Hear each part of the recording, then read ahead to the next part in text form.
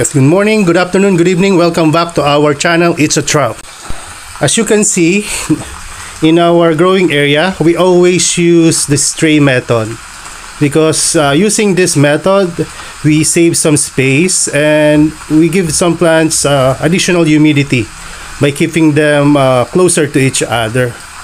And the bigger the fat, or the bigger the planter, uh, it will take time before the planter planter uh, experience drying up.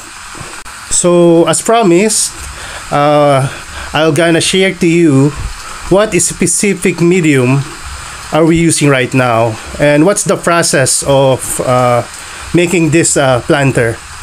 So I hope you can learn something from this video. So let's start.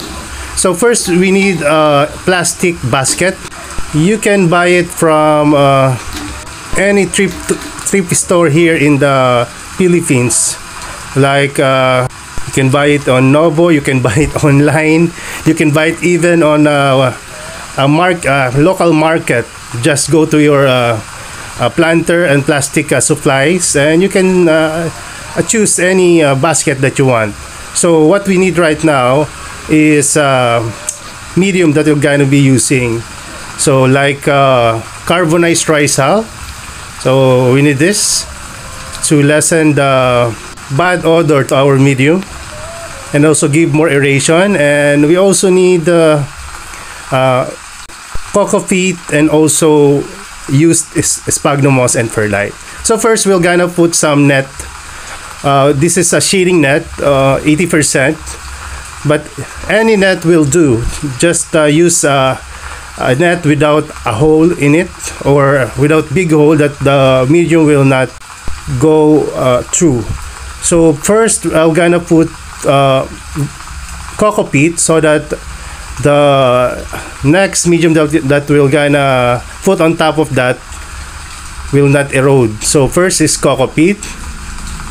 Then we need to put uh, coco peat around the area and also we need to arrange the net so that uh, all the the surface is covered. So now we're gonna put the carbonized rice hull. When we measured the TDS reading of this initially in the first video, we came up with uh, uh, 21 ppm and for the coco peat it's 20. So it's uh, ideal for our uh, carnivorous plant. Then it's just a thin layer of uh, carbonized rice hull if you want to put more it's up to you. But I suggest you just put a thin layer of it. Because it's very important the you know the layering. Because if we're gonna put the top toppings will be the carbonized rice salt it will not be favorable. Because when it rains your your plant will look messy. So if we cover it again with uh, coco peat. Then afterwards we're gonna put uh, sphagnum moss in perlite. It's a used medium recycled from an old medium. So we boil it and after boiling it, we rinse it with the rainwater until the ideal ppm is achieved. So around 60 ppm and below. So TDS is a total dissolved solid. Plants like carnivorous plant, Venus flytrap, and Nepenthes likes to be planted in the low TDS medium and they like to receive low TDS water. In short, they like low minerals, no low low nutrient soil or soil uh, medium. So now we're we're at putting uh, on top of it uh, sphagnum moss and, and perlite. Make sure that you put uh, enough pressure so that it will uh, the medium will be a little bit uh, compacted and it will not erode up for a while when you water it.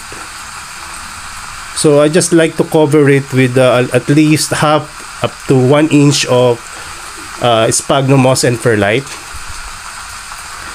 and don't forget to pat it so that it will be uh, so that the spaces in between the medium will be filled so it's just uh, simple but uh, the important thing is the layering Actually, before I tried to mix everything, and it goes well, but uh, I don't think it will goes well with uh, uh, much uh, sensitive uh, plants like delicate plants like uh, and uh, Cephalotus because they like a really nice medium.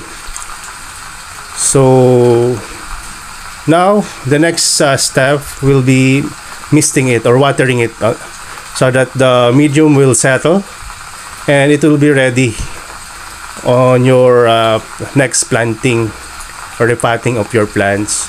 And also it's very nice to see if the medium is uh, washed because you can see as you can see it will be a big difference before and after the, this procedure and it will be much easier to manage it when you want to plant the new uh, sets of plant that you want to put in there. So just water it rinse it. And by doing so the medium that is already low it will be much uh, safer to your plants to be uh, planted with. So after misting it uh, it will be around like a 20 to 30 ppm TDS reading. So let's wait. After uh, misting it I like to mist it for about a minute or two so that it will be uh, ready for your uh, uh, carnivorous plant.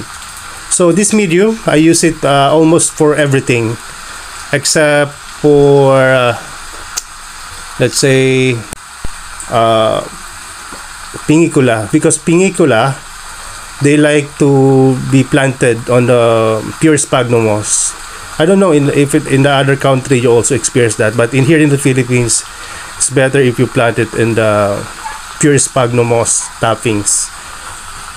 So you can still use this uh, procedure, but make sure you you put the uh, uh, or another layer of pure sphagnum moss, just a thin layer of it, maybe few centimeter.